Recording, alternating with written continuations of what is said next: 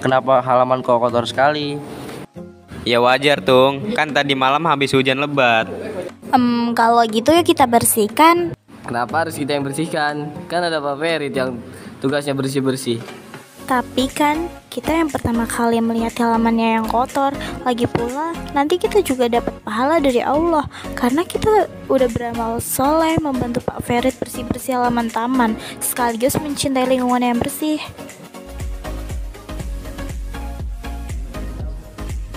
Disebutkan bahwa sampah adalah sisa kegiatan sehari-hari manusia atau proses alam yang berbentuk padat atau semi padat berupa zat anorganik atau organik bersifat dapat terurai atau tidak dapat terurai yang dianggap sudah tidak berguna lagi.